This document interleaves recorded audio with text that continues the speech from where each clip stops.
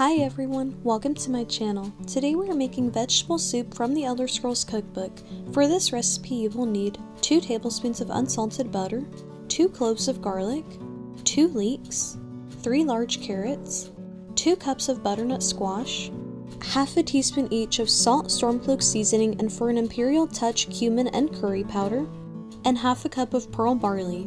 Start by melting the butter in a large saucepan over medium heat. Then add the garlic and leeks and cook for 5 to 10 minutes until they are soft and fragrant. Next, add the carrots and squash and stir to coat with the butter. Now add the seasonings and mix again.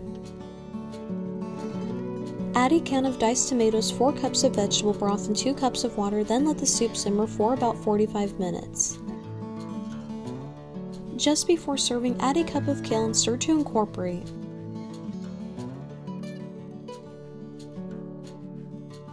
And that is it, guys. This was so delicious. The vegetables were nice and soft, and the whole soup itself was very flavorful. You can really taste the curry powder in here, which I liked a lot. I will definitely be making this again.